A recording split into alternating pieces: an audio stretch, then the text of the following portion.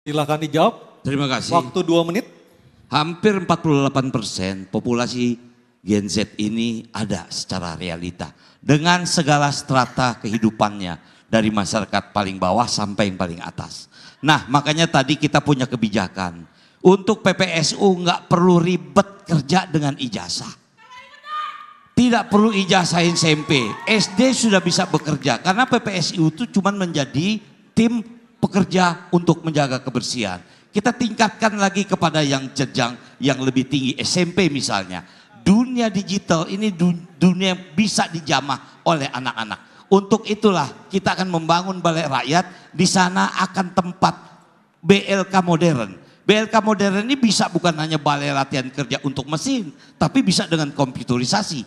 Banyak para swasta membuka sekolah-sekolah animasi. Saya tidak ingin menyebutkan, tapi banyak sekali jurusan-jurusan seperti ini.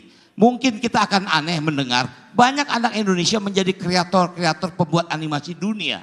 Bahkan film Avatar itu hampir 18 anak Indonesia yang bekerja di Indonesia untuk mensuplai Disney misalnya. Itu bagian dari uh, anak uh, anak Gen Z yang memang populasinya besar dan potensinya bisa dikembangkan tinggal kita memberikan jurusan-jurusan kepada mereka. Nah, itulah menjadi hotline 24 jam menjadi utama agar mereka mempunyai guidance apa yang harus mereka kerjakan, apa yang harus mereka lakukan. Mudah-mudahan dengan itu penjuruan untuk Gen Z ini tidak menjadi salah arah. Mungkin itu jawaban saya. Terima kasih. Masih ada, Masih ada sisa waktu. Cukup. Sudah cukup, baik. Oke, okay, baik.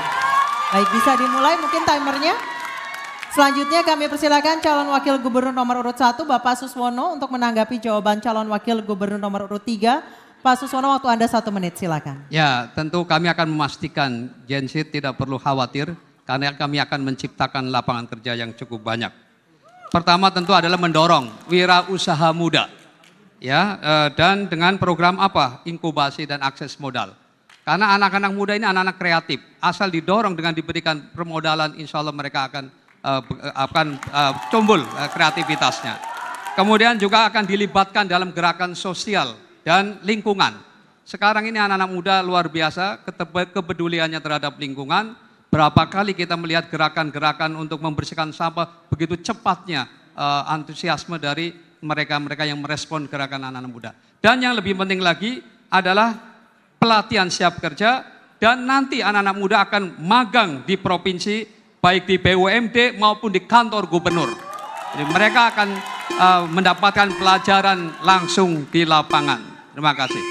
Baik, terima kasih. Dan selanjutnya kami berikan kesempatan kepada calon wakil gubernur nomor urut 2, Bapak Kun Wardana menanggapi calon jawaban calon wakil gubernur nomor urut 3. Kami